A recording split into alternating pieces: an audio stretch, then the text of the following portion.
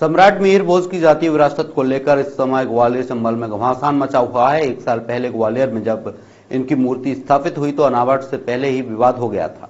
क्योंकि क्षत्रिय समाज और गुर्जर दोनों ही जातियों के लोग इन्हें अपना पूर्वज बताते हैं। वहीं गुर्जर समाज ने प्रतिमा स्थापना दिवस के आयोजन की घोषणा की तो फिर बवाल मच गया। जिसे लेकर कलेक्टर ने धारा एक लगाकर सभी प्रकार की रैलियाँ, धरना और प्रदर्शनों पर रोक लगा दी है। प्रतिमा स्थल पर कड़ी सुरक्षा की व्यवस्था की गई है। कलेक्टर ने अपने आदेश में कहा कि मैं पूर्व में पट्टिका को लेकर टकराव और विवाद की स्थिति बन चुकी है।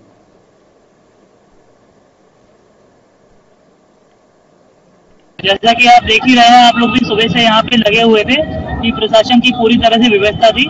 पुलिस बल भारी संख्या में 300 से 400 की संख्या में लगा हुआ था। थ्री लेयर सिक्योरिटी आप बैरिकेड देख सकते हैं यहाँ पे।